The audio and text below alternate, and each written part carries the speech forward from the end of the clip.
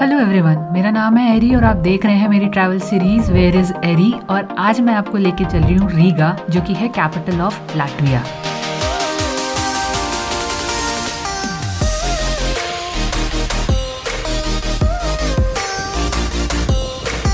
last vlog में मैंने आपको टैलिन घुमाया था और फिर टैलिन से हमने बस ली थी रीगा तक की और कल रात हम रीगा पहुँच गए थे। बट जो फ़र्स्ट चीज़ मुझे रियलाइज़ हुई वो रीगा पहुँच के ये थी कि यहाँ पे कम्युनिकेशन गैप होने वाला है। क्योंकि कल रात हमने बस टर्मिनल से टैक्सी ली थी और हम ड्राइवर से बिल्कुल भी बात नहीं कर पा रहे थे क्योंकि वो रशियन में बात कर रही थी। रीगा एक्सप्लोर करने के लिए हमें लेना था एक ट्रैवल कार्ड जिससे हम अनलिमिटेड नंबर ऑफ़ बसेस और ट्रैम ले सके और ये कार्ड लेने के लिए हमें देखनी थी वेंडिंग मशीन जो कि मिली हमारे नियरेस्ट सुपरमार्केट में।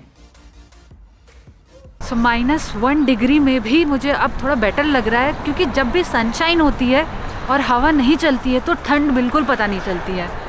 और मैं बहुत ही सुंदर से पार्क के थ्रू जा रही हूँ, और रैना बुलवारिस बस स्टॉप पे उतरी मैं। और इसी लोकेशन पे सारे मॉन्यूमेंट्स हैं तो अभी कुछ ढूंढ रहे हैं ब्रेकफास्ट करने के लिए। क्योंकि ब्रेकफास्ट नहीं किया है। कल रात में हमें पता था कि लॉकडाउन में हम घर पहुँचेंगे। तो मैंने वहीं एस्टोनिया टैलेंट से कुछ कप नूडल्स और वो इंस्टेंट कॉफ़ी पैक करा ली थी। तो वो आके रात में हमारी काम आई डिनर किया हमने वही। और आज सुबह निकल गए तैयार होके। बहुत अच्छा मौसम है। काफ़ी अच्छा लग रहा है। सो so, घूमते घूमते मंगल ने एक स्ट्रीट फ़ूड कॉर्नर ढूंढ लिया है जिसका नाम है street food Chinese street food और वहाँ से तुम क्या खाने वाले हो? हम खाने वाले हैं चिकन नूडल्स चिकन नूडल्स और मैंने ऑर्डर किया है वेज नूडल्स और इस शॉप की खासियत ये है कि आप एक सॉस फ्री में ले सकते हैं और अगर आपको एक से ज़्यादा सॉस अपनी नूडल्स या राइस में डलवानी है तो आपको थर्टी सेंट्स देने होंगे। तो काफ़ी चीप पड़ा हमें यहाँ पे नूडल्स तो मैंने मीडियम ऑर्डर किए। तुमने क्या ऑर्डर किया है? मीडियम या लार्ज मीडियम मीडियम ऑर्डर अभी सबने मीडियम ऑर्डर किया है और ये एक स्ट्रीट फ़ूड कॉर्नर है। तो जैसे जनरली हम अभी तक जहाँ भी खाए अंदर बैठने की जगह होती है नॉर्मल रेस्टोरेंट्स या फ़ूड सेंटर्स में तो अंदर जाके बैठ के खा रहे हैं बट अब इतनी ठंड में जहाँ पे अभी माइनस टू हो रहा है स्ट्रीट फ़ूड है तो बाहर ही खाना पड़ेगा तो हमको वो बस बॉल एक कागज़ के बॉल में दे देंगे और बस बाहर ही खाना है हमें तो देखते हैं कैसा होएगा अभी आगे। मुझे एक सामने एक हिल सी भी दिख रही है जहाँ पे धूप आ रही है। तो जब हमारा ऑर्डर आ जाएगा तो हम ये भी कर सकते हैं कि हम जाके वहाँ पे बैठें और धूप में बैठ के खाएँ। हम कर सकते हैं और मे बी नॉट क्योंकि अभी हमें बहुत चलना है पूरा दिन। सो so, अपना दिन रीगा में स्टार्ट करने से पहले मेरी एक्सपेक्टेशन कुछ यही है कि यहाँ पे मुझे बहुत ही ज़्यादा आइकॉनिक मॉन्यूमेंट्स दिखने वाले हैं यहाँ का कल्चर दिखने वाला है और यहाँ के हिस्टोरिकल प्लेसेस दिखने वाले हैं।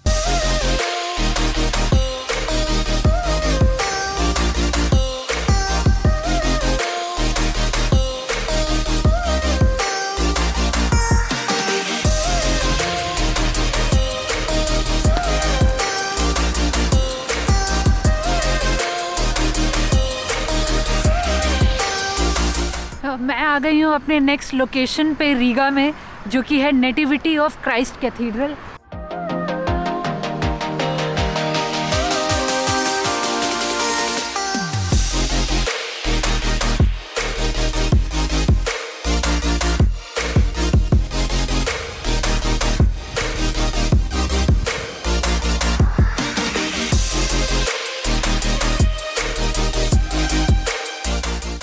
so so, मुझे सिग्निफिकेंस तो अभी नहीं पता इस हाउस की। कैट हाउस नाम है और नाम की तरह दो बिल्लियाँ बैठी हुई हैं ऊपर। नीचे शॉप दिख रही है।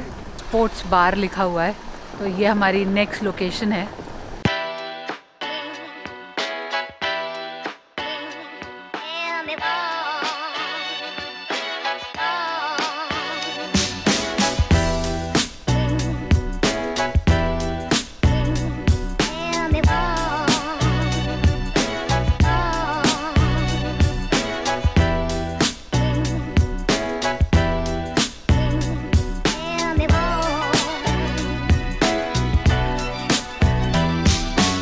तो चार बज गए हैं सनसेट होने वाला है, मेरे पीछे हो रहा है सनसेट हम निकल रहे हैं टाउन हॉल स्क्वायर से।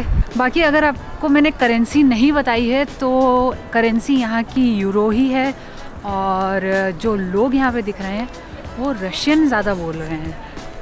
और उन लोगों को देख के मेरा एक ऐसे परसेप्शन सा हो रहा है कि जब हम मूवीज़ देखते हैं, उसके अंदर जैसे ये रशियन कैरेक्टर्स कुछ होते हैं जो रशिया से बिलोंग करते हैं या प्ले कर रहे होते हैं रोल रशियन का तो उनको देख के वैसे ही सही लग रहा है, वैसी ही फीलिंग आ रही है। एकदम बिल्कुल जैसे मैंने एरो देखा था, उसमें मैंने एक वर्ड सीखा था ब्रातवा हम चल रहे हैं। थ्री ब्रदर्स बचा है हमारा और एक स्वीडिश गेट है, ये बचा है।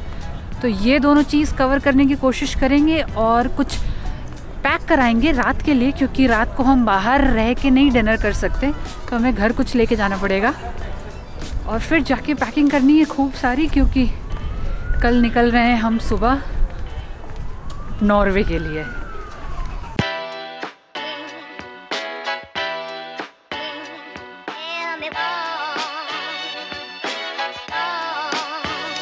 सो so, जो ये तीन बिल्डिंग अभी आपने देखी ये मंगल के हिसाब से थ्री ब्रदर्स हैं। अगर ये थ्री ब्रदर्स नहीं है तो इसमें मंगल की गलती है। हाँ तो ये बहुत ही हिस्टोरिकल बिल्डिंग्स हैं जो कि 1646 में बनाई गई थी। एक का नंबर है 17, 19 और 21 क्योंकि पूरे यूरोप में आपको जैसे पता है कि एक स्ट्रीट पे इवन होता है एक स्ट्रीट पे ऑड होता है। तो इसीलिए यहाँ पे 17, 19 और 21 इनके मकान नंबर है। सो so, जो अभी आपने आर्च देखा वो था यहाँ का Swedish gate which was my last monument और रीगा का सफ़र यहीं ख़त्म होता है मेरा। हमें कुछ करना नहीं है आप जाके बस मैं डिनर का कुछ पैक कराऊँगी जो आपको बताया था पहले और फिर वापस से होटल जाके खाएँगे क्योंकि आठ बजे से लॉकडाउन स्टार्ट है और अभी बज रहे हैं साढ़े चार। सो so, इस व्लॉग में मैंने सारी चीज़ें कवर कर ली हैं जो रीगा में एक्सप्लोर करते हैं लोग। सो so, रीगा घूमने के बाद अगर कोई मेरे से मेरा ऑनेस्ट ओपिनियन माँगता है तो मैं उसे यही बोलूँगी कि अगर आप यूरोप में हैं और आप घूमना चाहते हैं दो तीन दिन के लिए तो दो दिन सफिशेंट है रीगा के लिए अकेले। बट अगर आप इंडिया से आ रहे हैं यूरोप ट्रैवल के लिए तो रीगा आप स्किप भी कर सकते हैं। और वापस जाके मुझे पैकिंग करनी है क्योंकि कल सुबह निकलना है नॉर्वे के लिए। नॉर्वे में हम छोड़ेंगे आकाश और मंगल को फिर वहाँ से मेरी फ़्लाइट है फ्रैंकफर्ट की अगले दिन। सो so, इस अपने एट डेज़ सिक्स कंट्रीज़ के ट्रिप पे मैंने अपनी बैकपैक को कॉम्पैक्ट रखने के लिए ज़्यादा कपड़े नहीं कैरी किए हैं ज़्यादा मेकअप का सामान नहीं कैरी किया है। एक ही जैकेट में पूरी ट्रिप निकाल रही हूँ और मल्टीपल लेयर स्वेटर के रखे हैं टॉप्स के रखे हैं। तो आई होप कि मैं तो बोर नहीं हुई हूँ अपने इस जैकेट से बट आप भी मेरी सारी वीडियोस में ये जैकेट देख के बोर ना हो। और ये रीगा का व्लॉग आपको कैसा लग रहा मुझे लिख के ज़रूर बताइएगा। See you in next vlog bye